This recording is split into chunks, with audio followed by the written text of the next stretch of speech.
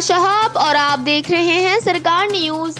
Human rights justice and defender organization की जानब से मुल्क में बढ़ती महँगाई के खिलाफ chairman advocate Abdul Wahab Abbasi, Abdul Ghaffar Nizamani advocate Bilal Mulla, Wazir अड़ल की सरबराही में एहतजाजी रैली निकाली और national press club Nawab Shah के सामने एहतजाजी मुजाहरा किया गया।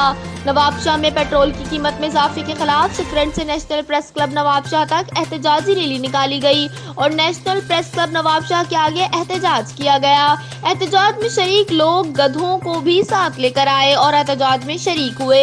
इस मौके पर chairman advocate Abdul Wahab Abbasi, Abdul Ghaffar Nizamani, advocate Bilal Mulla, Wazir ulnar और दूसरों ने मीडिया से गुफ्तगू करते हुए कहा कि करप्ट जमहूरियत ब्यूरोक्रेसी और करप्ट निज़ाम मजदूर और आम लोगों को खुदकुशी और फाका पर मजबूर कर दिया।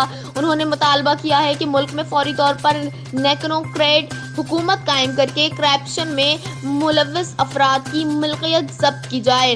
पचास रुपए से पाँच हज़ार तक करेंसी वापस लेने के साथ साथ मनी एक्सचेंज बिल्डर माफिया की करोड़ों की प्रॉपर्टी को सरकारी तहवील में लिया जाए।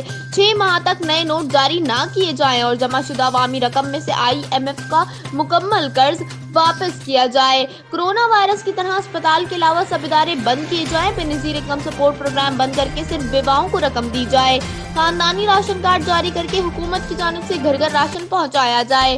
गुजरे पंद्रह सालों के दौरान गैर कानूनी तौर पर कायम नहरें और वाटर मुकम्मल तौर पर बंद किए जाएँ और प्रॉपर्टीज़ के कब्जे काली करवाए जाएँ। उन्होंने कहा कि हुकूमत को आवाम को फौरी तौर पर रिलीफ देना चाहिए। उन्होंने कहा कि अगर आवाम को रिलीफ ना दिया गया तो हम गधे लेकर डी चौक इस्लामाबाद पर धरना देंगे। एहतजाजी धरने और रैली में H R G D O के वर्कर्स, अहदेदारान और आम शहरियों ने बड़ी तादाद में शिरकत की। एहतजाज में शरीक लोग हुकूमत के खिलाफ फलक शिगाफ नारे लगाते रहे।